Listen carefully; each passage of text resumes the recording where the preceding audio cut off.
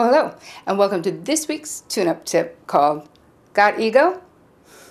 Or I could call it How Offendable Are You? So I want you to be really honest and think about how often in your life you say, I can't believe this person said that to me. That person owes me an apology. I'm so pissed that they thought that, that they said that. Be honest. Do you say that often? Do you often feel offended? So let's break down what that actually means. Being offended is an ego response to what someone else has said. And this is the cure for being offended, which is to really realize that we cannot control others at all, right? But we can control how we react and respond to what they say. I personally consider myself unoffendable.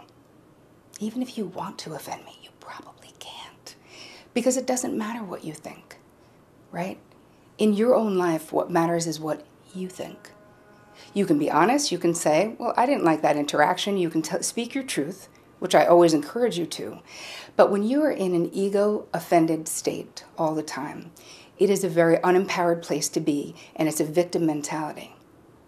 So I'm going to ask you to be really mindful for the next seven days about not reacting to what other people say to you or about you. Because you know what? What other people think of you is none of your business. It's about what you think of you.